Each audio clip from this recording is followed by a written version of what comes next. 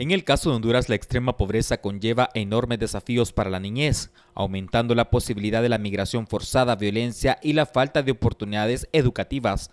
A pesar de que el país ha avanzado en la promulgación de políticas y leyes, según lo revelado en el más reciente estudio ejecutado por la Universidad Nacional Pedagógica Francisco Morazán y ejecutado por la investigadora Carla Paz. Es importante señalar que solo el 14% de la población infantil en Honduras asiste a programas de educación en primera infancia.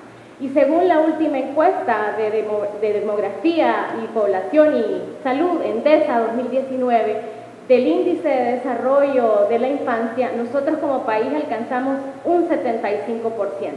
Para realizar este análisis, se desarrolló una investigación documental sobre las políticas públicas de educación para la primera infancia y los programas que la implementan, señaló el rector de la Universidad Nacional Pedagógica Francisco Morazán, Hermes Díaz. De eh, revisar la currícula de formación no solo de lo que los niños van a aprender, sino también de cómo las universidades que formamos docentes, llámese la Universidad Pedagógica o la Universidad Nacional, tendrán que atender y revisar también la currícula de formación. Esto sería el comienzo de una refundación en el sistema educativo, señaló el secretario en materia de educación Daniel Esponda.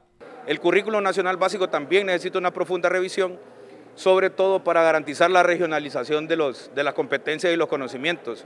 No es lo mismo ser un niño del área rural que ser un niño de una área urbana.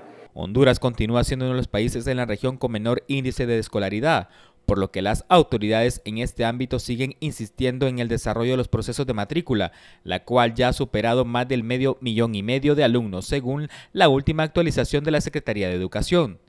Desde Medios y Notifides le invitamos a que juntos fomentemos una cultura de paz. Con imágenes de Aníbal Recarte les informó Josué Varela.